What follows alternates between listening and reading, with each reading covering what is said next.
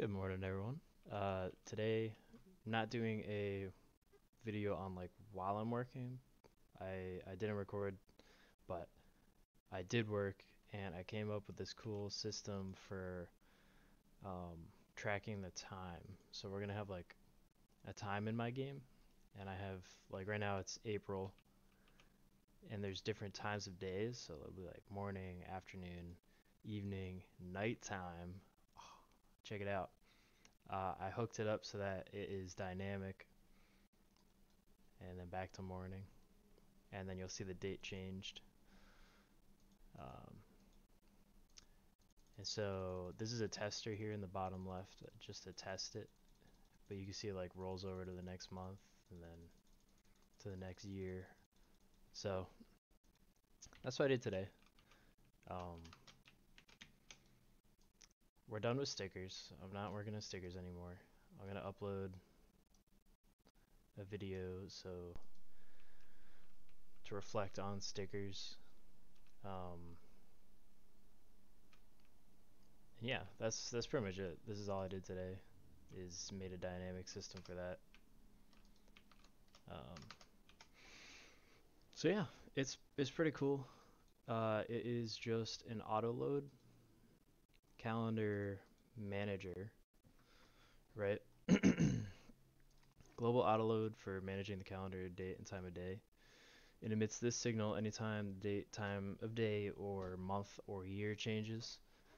I'm in an enumeration for months. I probably could have done this a little bit better, where it's like based on the numbers, but that's fine by me. So we have an enumeration for months, enumeration for time of days, um, these are irrelevant. This is just for me. Like if I'm ever like, oh, what time of day is it? Oh, well, if I want it to be 5 a.m., it'd be morning. I don't know. Uh, the year, month, day, and time of day. These are variables.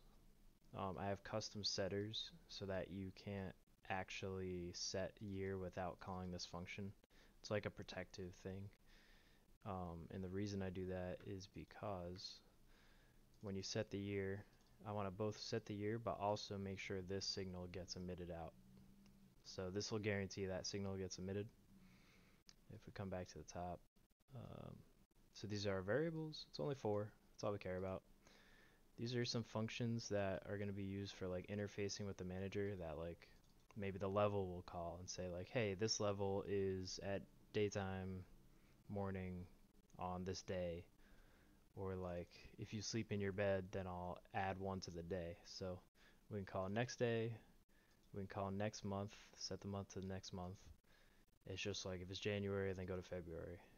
Um, and then if it's December go to January but also add to the year.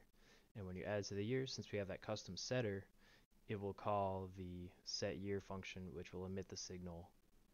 And same with month month will call the set month function, which will emit the signal of date time changed.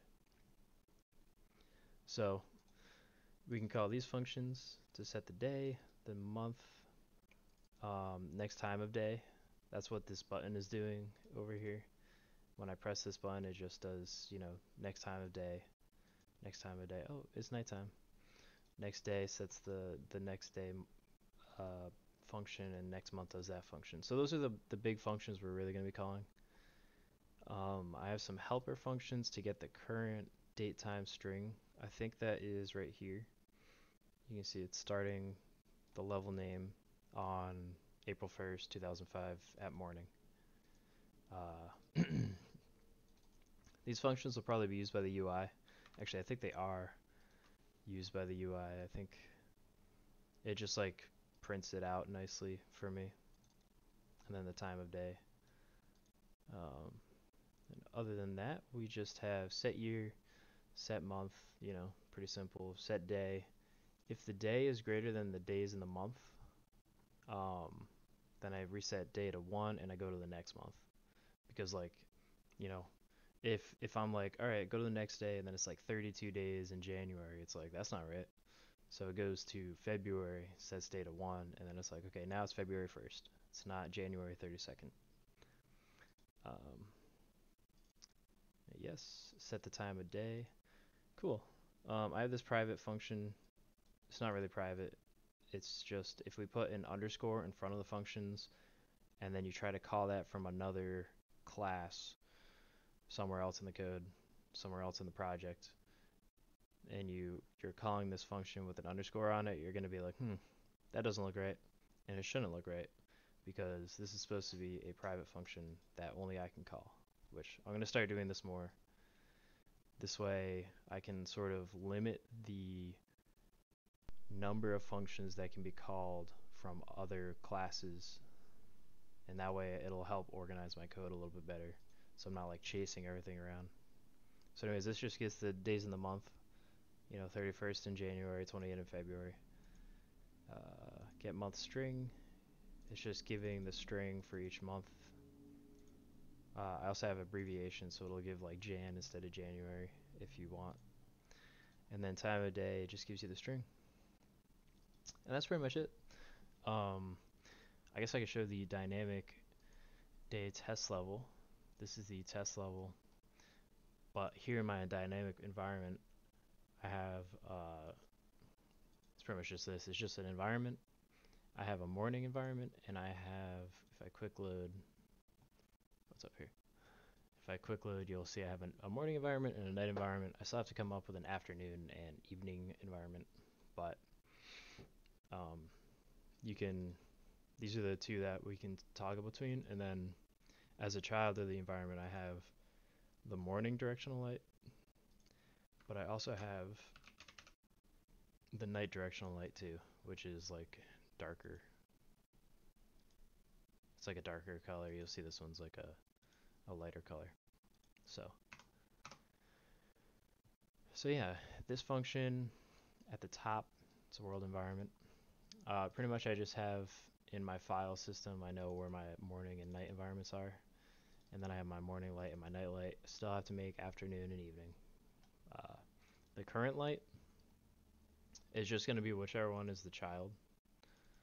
Uh, so when this function or when this when this dynamic environment is added to the scene, it'll call this ready function, which we hook up the date time signal to a function that we can call later, which will do stuff. Um, and then we find our current light so since our current light is the morning directional light, we just look through all the children. If if it's a light, then we say, all right, this is our current light. Set the child as our current light so that we know this is our current light. And then I run update based on the date time on initialization. And the reason I do this is because if you go into the level and it's like already nighttime, well, we have to do stuff. So pretty much when the level starts up, when the level starts up, it loads everything, calls this ready function, and then it's like, oh, is it nighttime? Okay, yeah, let's make it nighttime. And you can see that working here. Um, if I go back to this level, you'll see, oh, it's nighttime, so make it nighttime. And then if we set it to daytime, go back, it's like, oh, it's daytime. All right, cool. so in this function that runs every time the date time is updated from the auto-loaded calendar manager in project settings, auto load, calendar manager. Uh, you see it's enabled. Pretty much, you know what auto load means. It's just, it's available at all times. It's a singleton. So anytime that is updated, we check out the time of day that the calendar manager has. If it's morning, then we set the environment and then we replace the light to the morning light. If it's nighttime, we set the night environment, replace the light to the night light. And then this replace light function takes in the packed scene, which is just, you know, loading a scene. You see it's a .tscn. So we load it as a pack scene. And then uh, we replace the light. So we pass this in. Then we, this is cool. I just learned this. We can do a, a weak reference and then check to see if that it, reference is valid, right? So normally you would say like if current light equals null, then you know return don't do anything or or just add it or whatever. Basically, you want to see if this thing exists before you call any functions on it, you know, because you can't queue free nothing.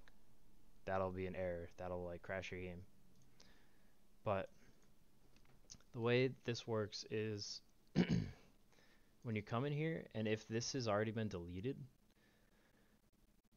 you'll have this reference. The reference will will be pointing to something that got deleted. But I think the way the garbage collection works, it like doesn't actually clear it out or something, so it somehow manages to pass this check. And then when you get down to if this was commented out, if you get down to here, it'll say, "Oh, you're trying to call functions or you're trying to get the transform of something that was deleted already." It'll say like this was previously freed. And you're like, "Oh, I just like I just checked to see if it's null." But apparently the, the right way to do it is to do a weak reference. And the way this works is thing objects in Godot are reference counted. So by having this reference, even though you queue free it, you still have a reference to the previously freed object. And so that kind of like keeps it alive a little bit. So instead of doing that, we can just do a weak reference. Check the weak reference to that um, to that reference, right? You like you create a weak reference to that reference, and then see if that's like valid. Um, this is this is the documentation for it. Uh, but basically, you just see if it exists still, and if it does, then you can do stuff. So pretty much, this is the way I'm doing it for now on. Anyways, back to the code. So when we call replace light, we're like, okay, we want it to be this scene. We just check to see if this exists safely. And then I copy the transform in case I put like a custom transform on it. Um, then delete the previous light, create or spawn, instantiate the, from the pack scene the new light, and then add it as a child of the environment, and then set the transform. So that is how I'm able to do the night cycle, which is really cool. So, yeah, this is a cool system, and uh, gonna keep working on it a little bit. I'm gonna add seasons, and then hopefully like trees. When it's like fall, they'll turn orange, or like if it's winter, they'll turn like white leaves or something. I'll try to come up with like some dynamic system for that. So maybe I'll do that tomorrow. But yeah, pretty excited. Thanks for checking it out. Yeah.